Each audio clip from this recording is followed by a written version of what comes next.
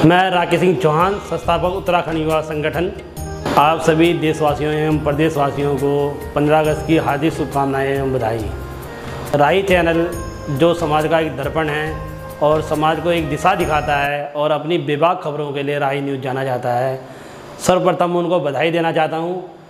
वो उनकी नई पत्रिका, राही की कलम, शीघ्र ही प्रकाशित होने वाली है। मैं इसके लिए राही की टीम को बहुत बहुत बधाई देता हूँ, शुभकामनाएँ देता हूँ।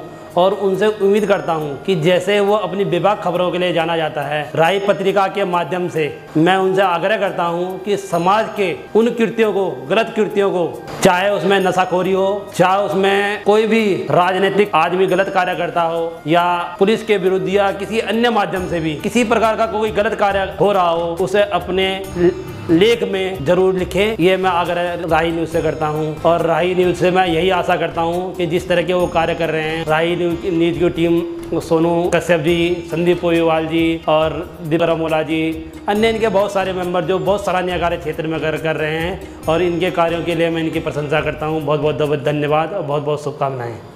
जय हिंद, जय भारत, जय उत्तराखंड।